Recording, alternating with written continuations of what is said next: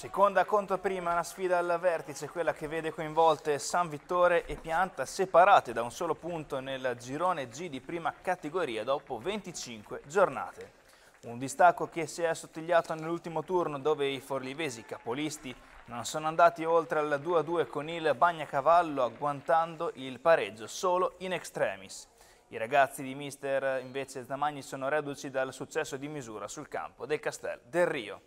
Andiamo dunque con le immagini subito al terzo minuto di gioco, l'occasione del eh, pianta, una mischia in aria, il pallone che viene in un qualche modo contrapposto e frapposto dalla difesa di casa, primo squillo degli ospiti, la risposta invece dei padroni di casa con questa conclusione al sesto di Dominichini, tiro che viene parato e ancora San Vittore sulla sinistra, il cross di Maurizio Lelli, il pallone che viene ribattuto ci prova, ancora Domenichini, ancora fuori la sua conclusione, ma è un San Vittore che nella prima parte della prima frazione la fa da padrone, ci prova anche Marini con un colpo di testa al ventunesimo respinto dal portiere, la risposta invece del eh, Pianta al 35esimo su punizione fedele, una punizione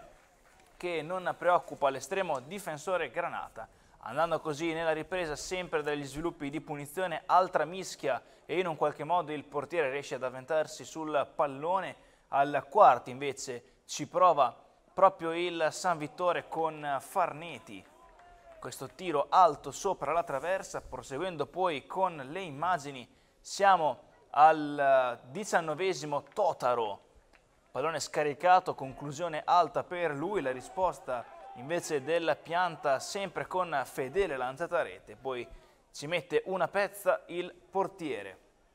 Una partita all'insegna dell'equilibrio, come poi dice anche il risultato e le posizioni in classifica. Qui vediamo la chance